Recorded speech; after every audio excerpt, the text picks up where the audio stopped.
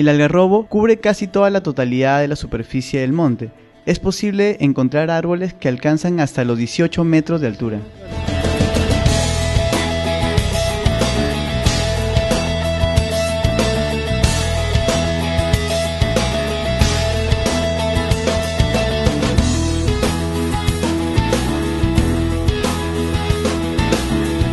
Esta área es conocida como el Algarrobal.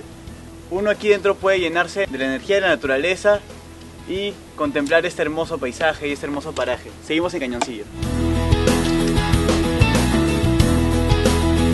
El fruto del algarrobo es utilizado por los pobladores para la preparación de la algarrobina y café de algarroba, o como alimento para el ganado.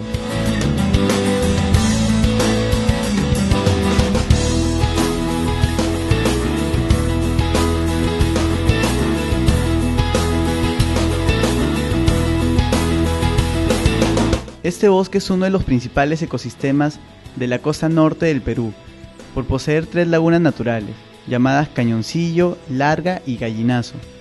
Para llegar a la laguna Cañoncillo tuvimos que caminar aproximadamente tres horas.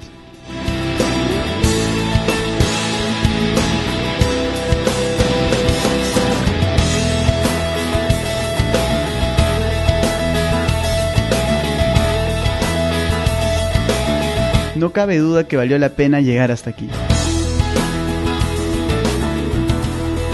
Y luego de una caminata de tres horas, hemos llegado por fin a la laguna de Cañoncillo. Solo nos queda sentarnos aquí y disfrutar de ese maravilloso lugar.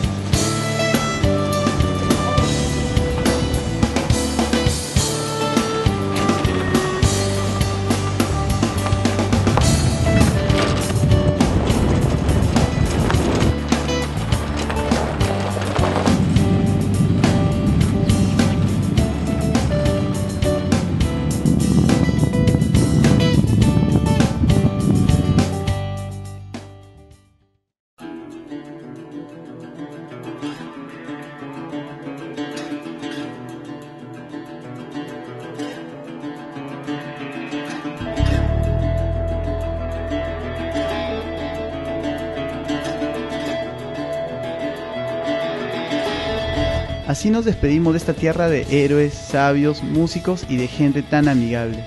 Te invitamos a un encuentro con esta mágica tierra que te brinda lo mejor de sus costumbres, comidas y atractivos turísticos.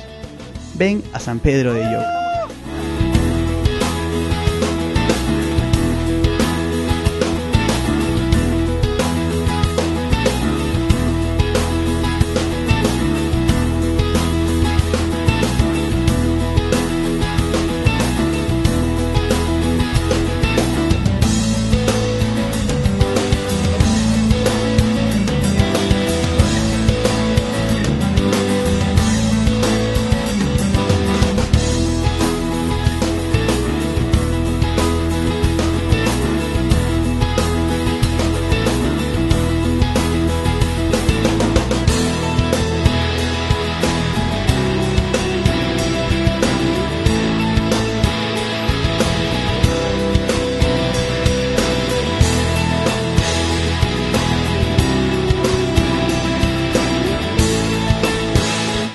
Pedro, gracias.